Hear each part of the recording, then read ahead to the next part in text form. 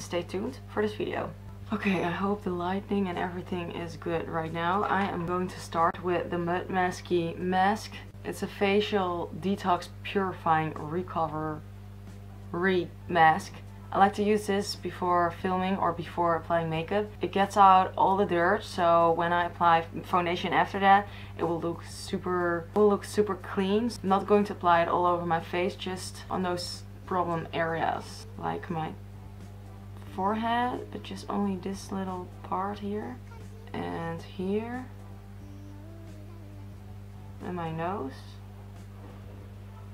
Here is where I have the largest pores and a little bit of my chin.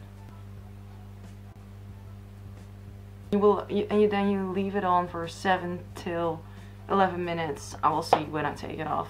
So then I'm going to use the Tarte Shape Tape Concealer and this Sigma E15 brush. Oh my god, this is so nice. I have a bigger table, uh, a bigger desk. If you guys follow me on Snapchat, you've seen my whole room. Couldn't wait with just filming a whole video on how my room is looking. I really wanted to share it on Snapchat. But I could do, if you guys want to, I could still do a room tour video here for on YouTube.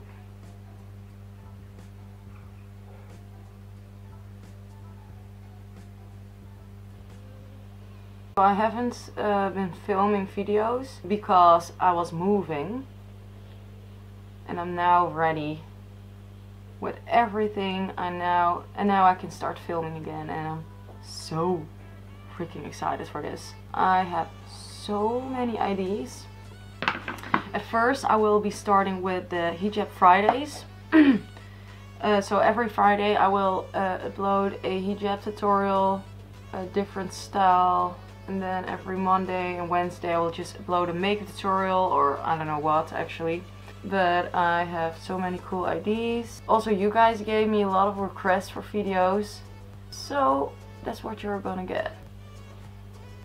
Also going to use this to color correct and as a base for my eyeshadow. Then I'm going to use this Jouer Essential Matte and Shimmer Eyeshadow Palette. I'm starting off with the color Dessert and with this iconic blending brush and this is going to be a transition, whoa it's really pigmented, transition, transition shadow.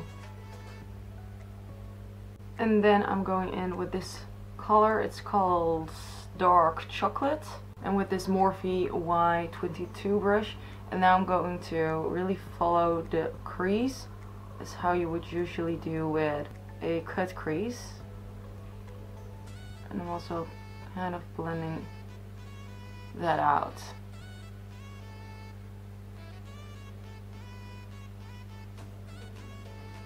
Going back in with the lighter color I'm blending these two together.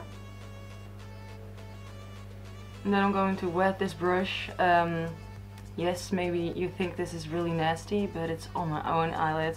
You can also just use water or anything, but I'm just too lazy. Then I'm going in with the Skinny Dip Ultra Foil Shimmer Shadows palette. And I'm going in with this beautiful color and that's called Bikini.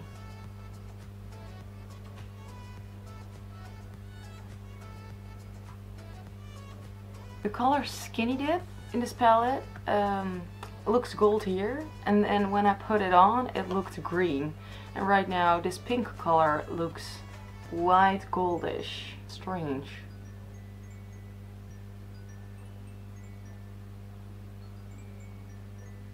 I'm going to apply some mascara on my upper lashes to prepare my lashes for the falsies.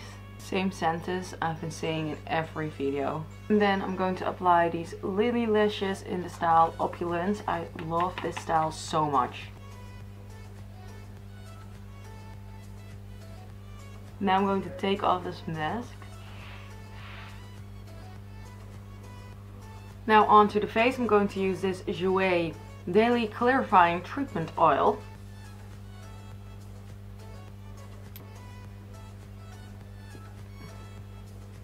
Now I'm going to use this Jouer High Coverage Creme foundation and I could not use these foundations I do really love them but I have like six one of them and all of them are not my color but now you're not able to see if it's my color.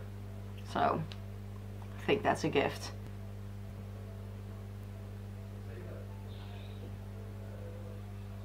This foundation is so strange. It has just two colors in it. I don't know how to explain that, but it's like when you blend it out, it's getting darker. Oh great, my father is calling. This is really not my color, but I could use some tan, so no problem. Do you see that? Here it's light, and then I'm blending it out, and it's getting darker. It's really strange. Because if it would be this color, it would be my color. But when I blend it out, it's way too dark. And then I'm going in with the Tarte Shape Tape to conceal everything that I want to conceal.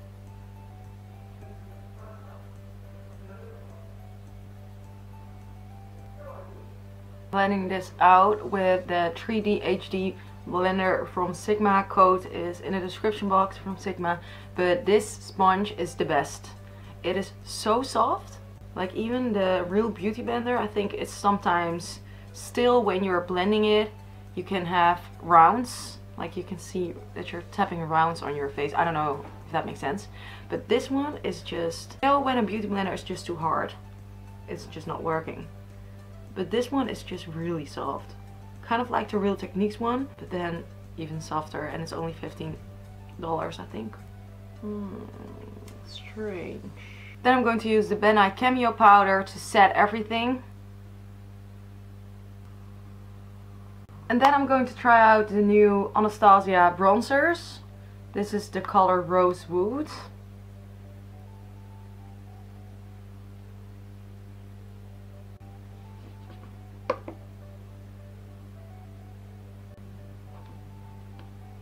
Then I'm going to use this blush from Jouer in this color here. It's called Hold Me. And then I'm going to use this powder highlighter from Jouer in Citrine. I don't know what to think of these highlighters. They are good, but also they are more, I feel like more to a eyeshadow-ish it's not that blinding highlight, it's just more of a color. Don't know how to explain it. Do you really like it, but if you really want to go for an extreme highlighter, I would not go for this.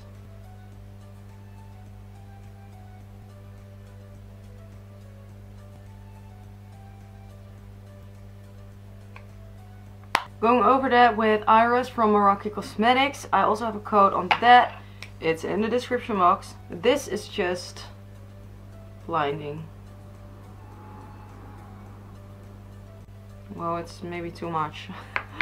Step a little back with this. Ooh, damn. And then I'm blending the darker brown color from the Jouer palette that I blended in my crease. Also on my lower lash line applying this Eyeko Brow Gel, also have a code description box. I really want to make this sentence shorter because I don't feel like saying the codes the whole time. And just,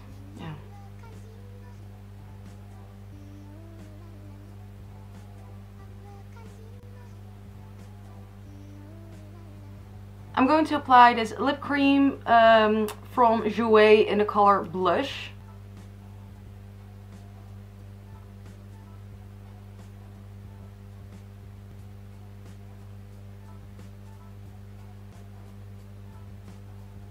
Hope you guys enjoyed today's tutorial. I hope you guys have a wonderful day and thank you guys for watching and I'll see you guys in the next one.